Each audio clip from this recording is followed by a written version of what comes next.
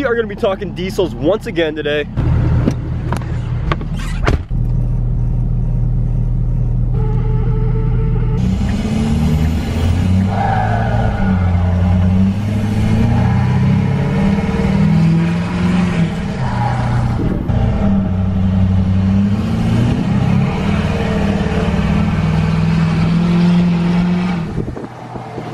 Specifically, we're gonna be talking about the mistakes not to make when buying a diesel like I made myself, as I have made a few mistakes with this truck, I'm not gonna lie. I, I didn't know really what I was doing, what I was looking for, and we're gonna get into all that in today's video. So hopefully you guys learned something and don't make the same mistakes I did. This should have been my first red flag is this is the freaking key they gave me when I bought the truck. I didn't even have a real key to the truck. I had this janky homemade key.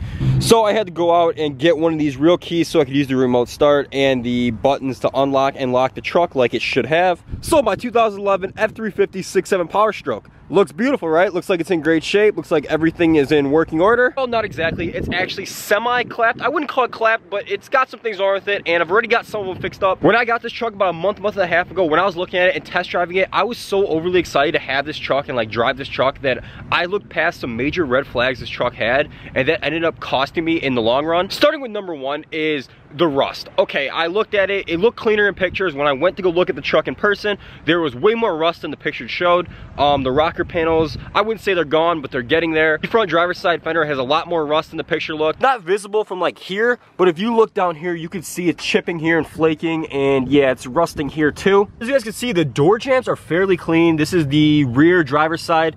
Not too much rust at all. Driver's side door jamb, very little bit of rust. Planning on sanding this down and painting this just to protect it. The passenger rear door is where the bulk of the rust is. Obviously this is completely shot. This is gone. I'm not too sure I'm gonna handle that. I do wanna get this rust out of here though before it gets worse. The passenger side front door, virtually no rust, not too bad. But the major one I looked past because I didn't know what I was looking for was the rust in the bed. Top it here and I'll show you guys. So when I bought this truck, I didn't think to step around in the bed and make sure everything's solid. Well, over here, we're in good shape. It's solid. Over here, pretty good shape, doesn't flex. But you come to this corner here, it's gonna be really hard to pick up on the video, but it's like a sponge right here. Like right here specifically,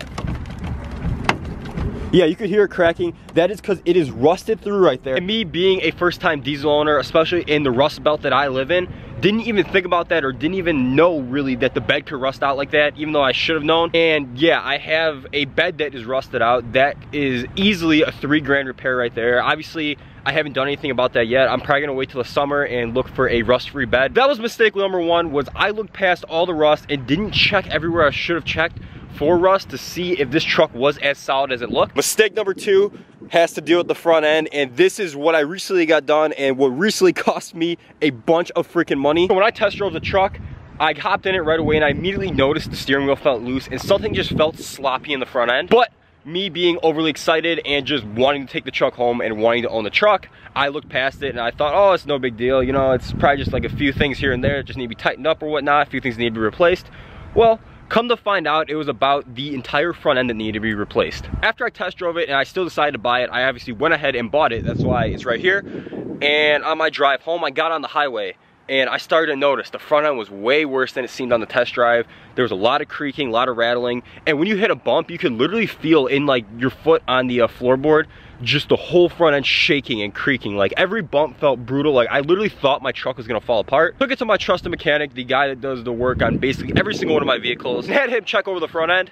Well, it comes to find out, I got a laundry list of things that need to be fixed on the front end. Tell you guys, fixing these big trucks is not cheap. Nothing on these things is cheap to fix or repair. Let's hop inside the truck and I'll read you guys every single thing that was replaced on the front end. As you guys can see here, I have literally two pages of things that were done in this truck.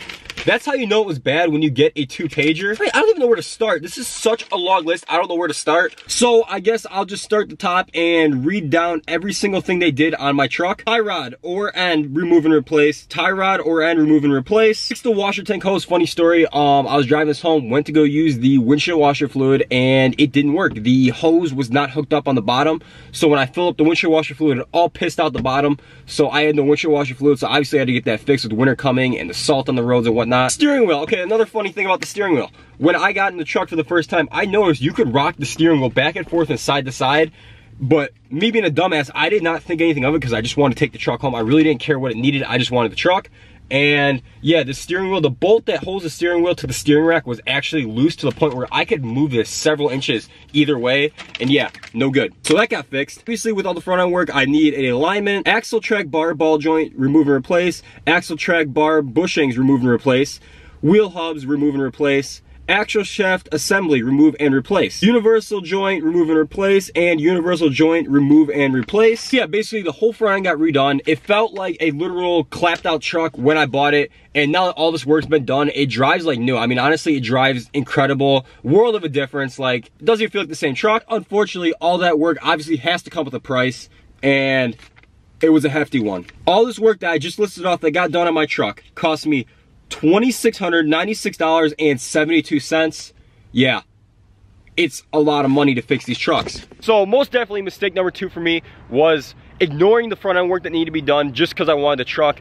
And I, I beg you guys, if you're going to look at a heavy duty truck like this, if the front end seems a little bit off, do a little more research on it, figure out what's actually wrong with it because it could cost you, like it costed me, $2,500 or more to get this fixed. Obviously, every truck's gonna be different, but my situation, it ended up costing me $2,600.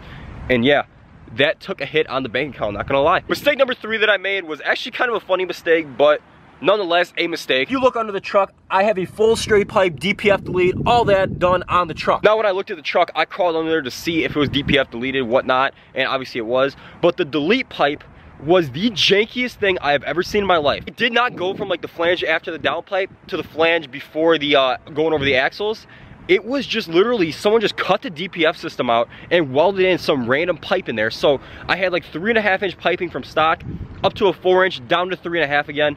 And it was like the most ghetto thing I've ever seen in my life. The welds were the most trash welds. Like I've never welded and I'm pretty sure I could weld better than the welds that were on this truck. So yeah, I was driving my truck one day, just cruising along, enjoying driving the truck. And all of a sudden I hear clunk and a bang and scraping. I look in my rearview mirror and the ghetto DPF delete pipe had fallen off in the middle of the road and the exhaust over my axle was hanging, literally dragging behind my truck. Oh, that was another $500 mistake because I had to go buy a whole new exhaust system. It may have been for the better because now I have a full five inch straight pipe. All my piping is the same, it's all the same size and it looks a lot cleaner and it's not rusted, it's not ghetto but still that was a $500 mistake right there. So if you total up all the money I've already spent on getting this truck up to speed, we're over three grand deep into this truck just fixing little mistakes that could have been avoided by not buying this truck or doing a little better research. Long story short, I have made some mistakes buying my first diesel truck and I wanted to share these mistakes with you guys so you guys don't make the same mistakes I did and you guys have a little bit better idea of what to look for. And by no means am I a diesel expert or a heavy duty truck expert. These are just the things I have learned from my first experience buying a truck like this. Especially thumbs up on today's video if you guys think I'm a dumbass for buying this truck. Comment down below what you guys think of all the issues on my truck and some other things to look out for when buying a heavy duty truck or a diesel truck. If you guys are new here or you've been watching for a while and you're not already subscribed, go ahead and smash that subscribe button and I'll catch you guys in the next video. Peace out.